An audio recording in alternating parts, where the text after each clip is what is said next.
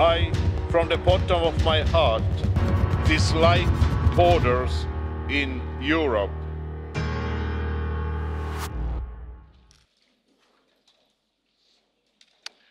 Mr. President, President of the, Vice President of the Commission, distinguished leaders of the political groups and members of the European Parliament. Europe is a thought that needs to become a feeling. I am honored to be back in this great house.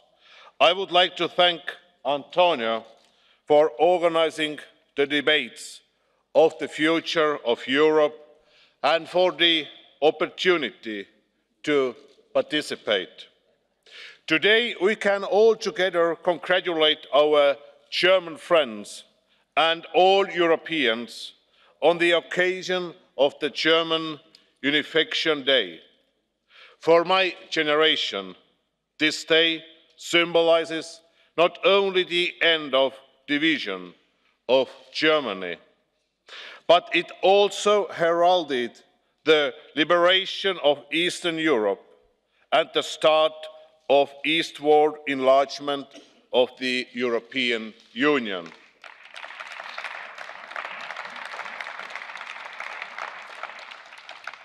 It made possible the starting of accession talks 20 years ago. It has been an amazing journey for our country, for Estonia. The role of the European Parliament in it has been remarkable. I would like to thank you, honourable members of the European Parliament, for your support. This year, Estonia celebrates the 100 years anniversary of our statehood. Like Germans in the east of the country, we had to wait and dream. For 50 years about freedom, rule of law and justice. I very clearly remember watching Finnish TV as this was our only connection to the free world. This is why I, from the bottom of my heart, dislike borders in Europe. Though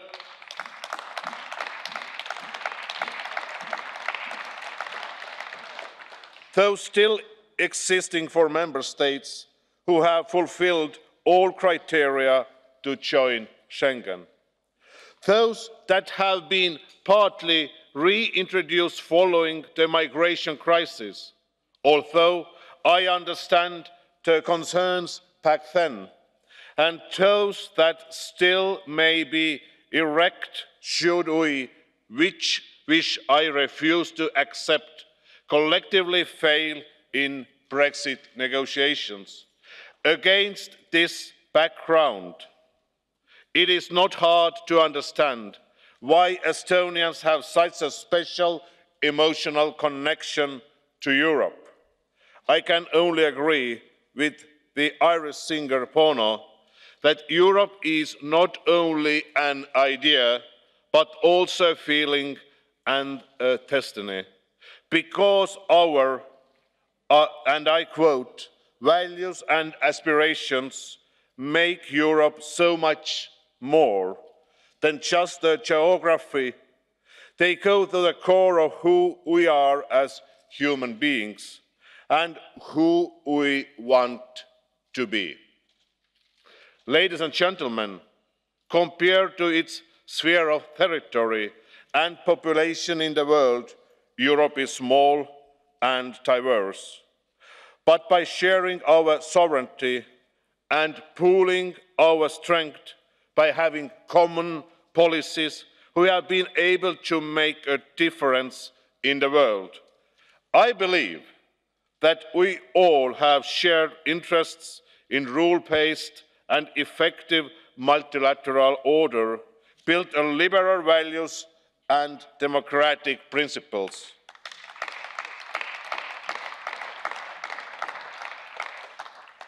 we have common interest also in open free and fair global markets. It is what the world expects from us, and it is what our citizens want. Because it is Europe that protects our values and freedoms against the turbulence of today's world. Europe's geographical ties and our global inter interdependence as world's largest trade dictate that it is vital to have a world that functions. We Europeans are all stronger together, and I hope we will spare no efforts in securing our collective interests and the values in the world. Europe's core strength it is diversity. Being European adds a rich layer to one's identity. Nothing represents this better than the fate of small nations in the European family. I would like to paraphrase former Estonian President Lennart Meri, who once said that small nations in Europe are the glue, the oil and the cement in the European construction. Therefore, allow me to express here modest enthusiasm when it comes to grand institutional designs in Europe, which could lead to lesser role of smaller nations. In our common institutions, less diversity will also res result in less Europe. Honourable members of the Parliament, ladies and gentlemen, today in this limited time frame, please allow me to focus on only some areas essential for Europe according to Estonia. First, precising unity with the EU. The key for our common future is our ability to keep the EU united and more forward with EU's positive agenda. There is a saying that the best way to predict the future is to create it. Future is not something abstract or another treaty change. We are building our future every day. We are doing this by providing answers to concrete con concerns of our citizens. And we are possible building connections that bring Europeans closer together, human, physical and professional connections. Europeans also expect us to tackle transformational challenges that are too big for a single member state, such as Europe defence, climate change and digital transformation. We will also have to find answers to global population growth and migration triggered by these changes. I therefore hope for ambitious multi-annual financial framework that reflects these challenges. New multi-annual financial framework is actually the best indicator of how we will see our common future. I agree with President Macron that the European Union depends on the feeling of unity. But as we know, unity does not have to mean uniformity. Sometimes we should simply recognize our different views without compromising on the same values. I find different levels of direct taxes in member states perfectly normal. I also feel that with European budget of the size of only one percentage of GNI, fundamental decisions or restrictive nature can be made at national or even local level through social dialogue. At the same time, we must have a credible framework vital for our common future, like the spending 2% of our GDP to keep Europe safe, or aiming at expenditure level of 3% of GDP on research and innovation. Also, we expect Europe to be, to be big in big things. But at the same time, it has to be excellent in details. Without standards and fine details, the single market of capital markets union would simply not function. Mr. President, ladies and gentlemen, we are now trying to find consensus when declining on the core elements on how to manage migration. It is difficult, but we all realize that short-term measures will only bring short-term solutions. All of us need to show solidarity in the way that suits best our common purpose and each member state's particularities. The key, is, the key in decreasing irregular migration is to work with third countries. We must use all the instruments that our trade, visa and development policies offer. New Africa-EU alliance proposed by President Juncker to support jobs, skills and private investments in Africa definitely serves long-term effects. Estonia pulls its weight here. Last November, I signed e-government cooperation agreement between Estonia and African Union. Estonia is geographically distant from Africa, but digital world does not recognize distance. Secondly, it is important to maintain and strengthen EU's influence in global economy. I cannot imagine a better example than the single market to prove that we are bigger and we are stronger together, but it still remains unfinished. Take, for example, the field of services, while the sector continues to grow unlike anything else, especially in digital domain. We are far from using its full cross-border potential. For example, public services remain essentially national. My good colleague, Mark Rutte, called the services market the elephant in the room when standing in front of you here in June. I understand him well, and I always worry when did talk, take, talking about making of the single market our economic engine become a taboo. It is high time that we set ourselves new goals in building the single market. Honourable ladies and gentlemen, success is creating effective artificial intelligence could be the biggest event in the history of our civilization, or the worst. We just don't know. A famous quote by Stephen Hawking in the field of artificial intelligence, the race is definitely on. Everybody is keen on exploring and developing strategies and reaping the benefits while we are still struggling to make it work up on and tiring from the age of intervention in, into the age of implementation of AI. Europe has to reinforce our values and lead technological change in public and in private sector.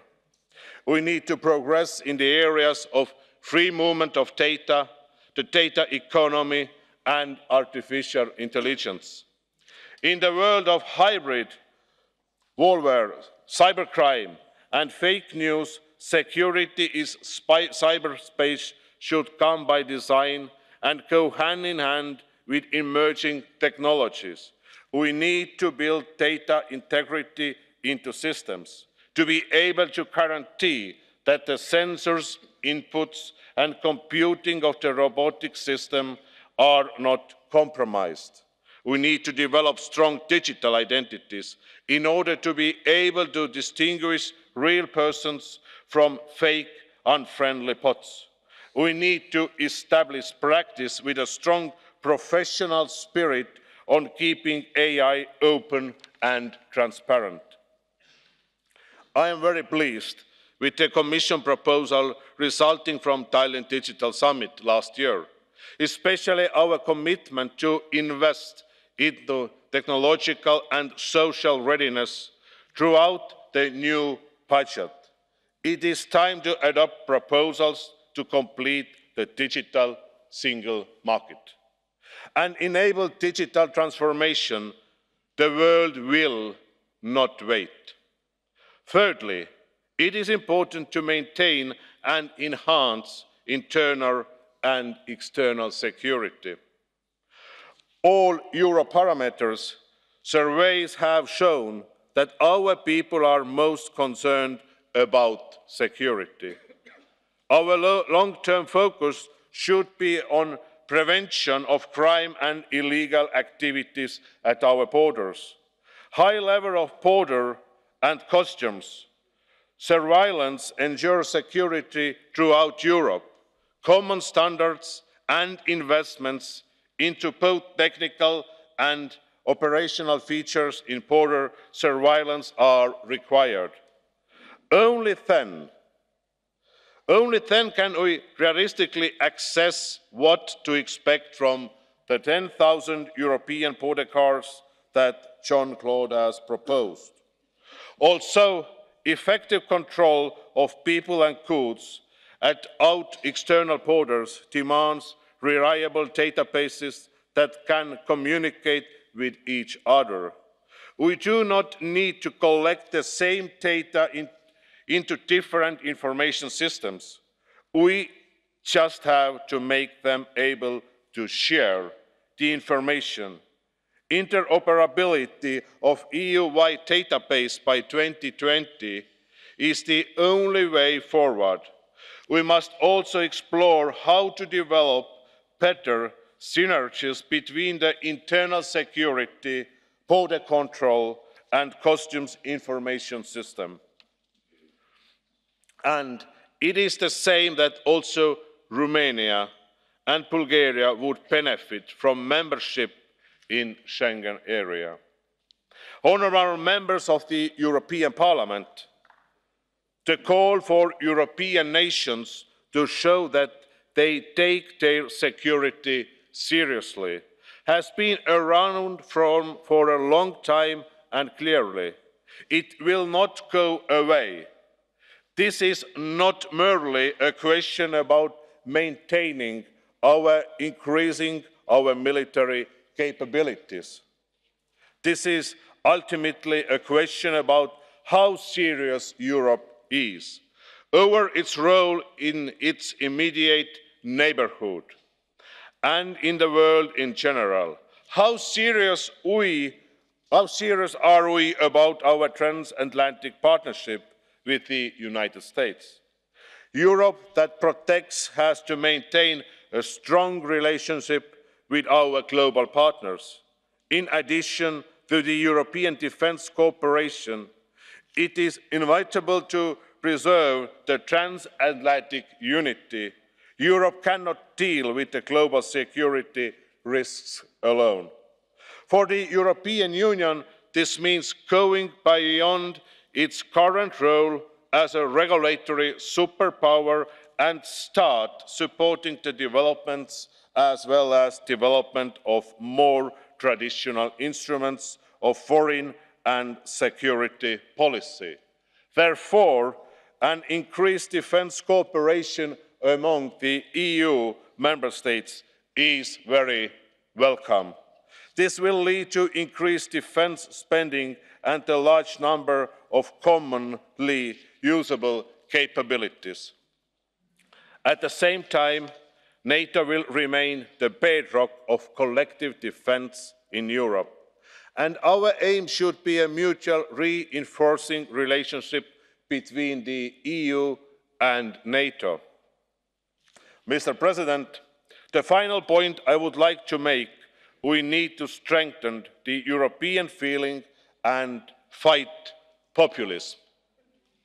We are working hard in the EU to make our citizens feel well. However, In recent youth forum in Estonia, students said that even their teachers were not able to explain the European Union. Upcoming European Parliament elections give us politicians perfect opportunity to explain, to explain our decisions. European Union has brought so many opportunities that people nowadays seem to take for granted. We have to speak about the benefits of the single market and single currency to our businesses, about free movement to our people, about Erasmus for our students. I very much appreciate the structured dialogues on the future of Europe initiated by the French President Emmanuel Macron, the President of the European Commission, Jean-Claude Juncker, and the President of this great House, Mr. Antonio Tajani. Working for better Europe that benefits citizens is a daily work. This also includes taking responsibility for the decisions and compromises made in the EU and showing very clearly that we own these decisions. The actions taken after the Bratislava and Rome summits already seems to have positive results and enjoys support by the people. More than two-thirds of EU citizens feel that the EU membership has been beneficial to their country, the best results since 1983. To summarize, external pressure and crisis have always pushed the EU forward and motivated member states and institutions to cooperate. Our common response to the Russian aggression against Ukraine, to the Bataclan terrorist attack, or if we will, to the Eurozone crisis, is an example of solidarity and example of common values. European Union as a community of values and of course shared interests has to have the means to stand up for the respect of individual freedoms and fundamental rights for multilateral and rule-based order to tackle the challenges to our security, to our peace and well-being. I believe that our citizens understand this while we engage in the negotiations over the next multi-annual financial framework. The fundamentals of the European Union are constantly disputed by the people, by by the member states and also by third states. Our union is therefore politically fragile. This means that we need a self-confident, reassuring union that protects its citizens and its members.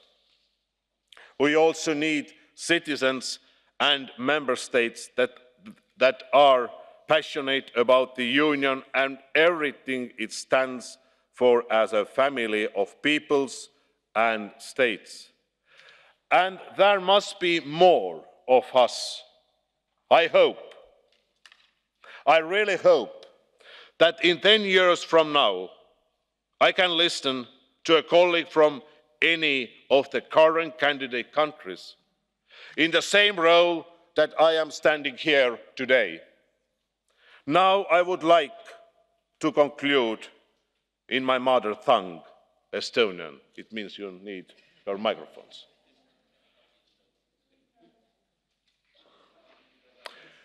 Kallid parlamendiliikmed, ma tahan teid tänada selle eest, et Euroopa olevik ja Euroopa tulevik ei jäta teid kedagi ükskõikseks. alles täna siin, seistes teie ees, ma mõistan täielikult, milline privileeg ning vastutus oli Eestil ja minul eelmisel aastal, kui oli meil au ja võimalus juhtida Euroopa Liidu Nõukogu tööd. Eesti kirjanik Anton Hansen Tammsaare on öelnud, et tööd tehes kasvab armastus.